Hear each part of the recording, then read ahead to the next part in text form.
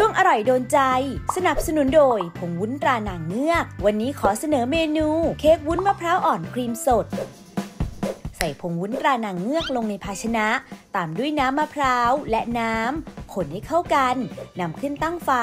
คนตลอดเวลาจนส่วนผสมเดือดทั่ว เติมน้ำตาลทรายและเกลือป่นเสริมไอโอดีน คนจนส่วนผสมเดือดอีกครั้งแล้วปิดไฟ ใส่เนื้อมะพร้าวอ่อน คนให้เข้ากันแล้วพักไว้ให้อุ่น เกร็ดความรู้การทำวุ้น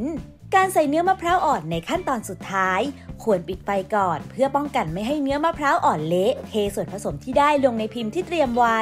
นำเข้าแช่เย็นจนส่วนผสมทรงตัวดี ทาวิปปิ้งครีมด้านข้างวุ้นบางๆ แปะด้วยเค้กสีน้ำตาลที่ตัดเป็นเส้นรอบเค้กปาดด้วยวิปปิ้งครีมอีกครั้ง